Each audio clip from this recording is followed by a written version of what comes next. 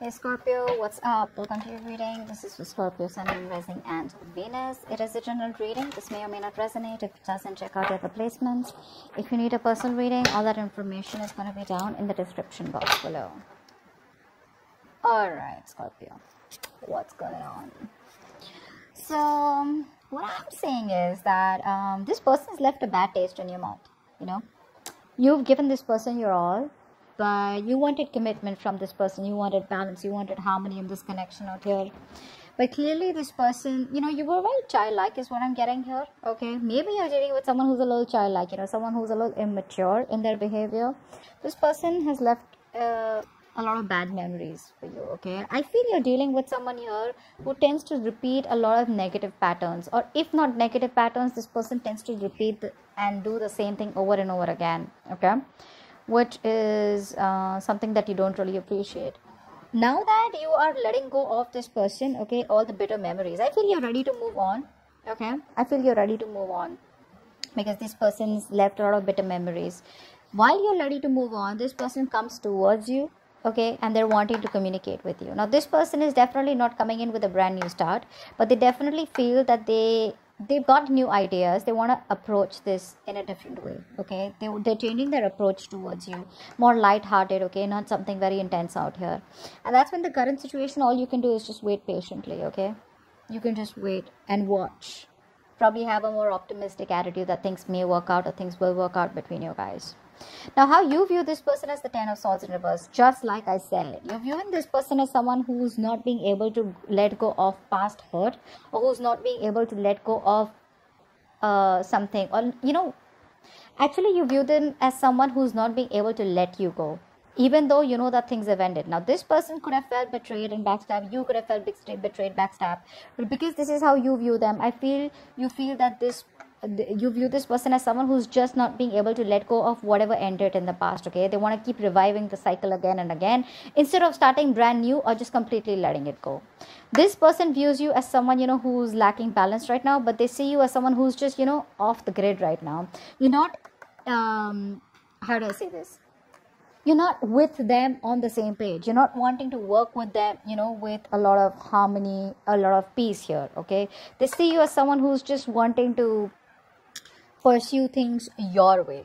Okay that's how they see you with the temperance in reverse here. They see you as someone who's just lacking balance out here. You're overdoing things or you're overindulging. So i think this person sees you as someone who's an extremist out here. Okay i'm getting an extremist out here. That's how they see you. Like if you're talking you're talking like but right now i feel you're not talking to them at all. Even if this try person's trying to come towards you make an effort here you're absolutely on the extreme side and which is not getting this relationship anywhere right now okay? You're overdoing something. Um the strength out here in the reverse as your um the strength in reverse as your mutual energy.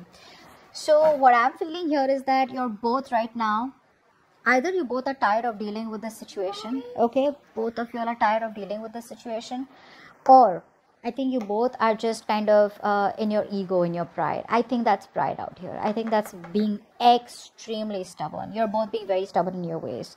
See how this person does not want to let you go, and how you want to be an extremist. Like no, it's like my way or highway. You know, that's how. That's what's exactly happening out here. The action you plan on taking is the world here. So you definitely plan on closing a cycle with this person here. Um, now it's all about completions, right? Now, this can also mean two things. Either you want to complete and wrap up a cycle and start something new somewhere else or with this person, or you just want to shut the chapter for good here. All right. This person out here with the Six of Swords here, now this person wants to come towards you. They want like if you're not on good talking terms or if you're not talking at all if there's radio silence this person wants to approach you wanting peace harmony wanting something stable wanting commitment or at least wanting to be together with you. At least they want to get into calmer waters with you okay? Now because this person takes their sweet on time whatever it is but with the nine of swords here i feel that the outcome here is that you're both suffering in silence. Both of you are suffering. Both of you all need each other. Both of you all want each other here. But it's the negative pattern the negative thinking that you both have on each other's side which is ultimately as the outcome you're making you both suffer in silence. You're hating the fact that this is ending you're hating the fact that this person won't make a move you're in your ego this person's hating the fact that you're just not ready to compromise and just not ready to be with them on the same page. There's a lot of controlling from your side is how they view you. Now because of this you're ending this connection here or you're just wanting to wrap up this okay? This person out here as soon as you wrap this up this person wants to come with you make any kind of changes that they were resisting all this while okay? And they want to start new with you is also what i'm getting here okay? At least get into a better place with you. This person seems to be on a much more negative side negative pattern of thinking than you okay? Because of which you know you you have bad memories okay? Like the sweetest memories have all turned into ash for you. And that's why like i said you're both suffering in silence. You both want each other you both miss each other but no one will speak up.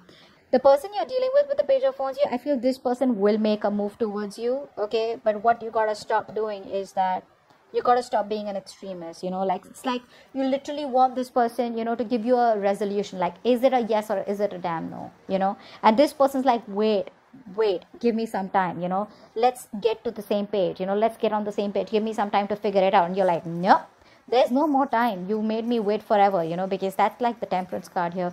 They made you wait. This person makes you wait and they made you wait forever. And you're like no now there's no time for that anymore. It's a yes or it's a no that's it. So that's how they see you okay? And that's why you're wrapping up the cycle because this person's trying their best to come towards you but with a very immature communication okay? That's what the page of wands do right? They come up with ideas but again they're not very capable to handle that in a, that, that kind of passion you know? But yeah they definitely want to come towards you with that light-hearted energy out here. And dude you out here are already at the end of the cycle with the world here. You're just like i'm done finito okay but yeah as the outcome in the next 10 days you both are still planning not to talk and still suffering you know in silence sleepless nights but no one wants to talk about it okay? If you loosen up if you soften up then probably this can still work out okay? So that's what i have for you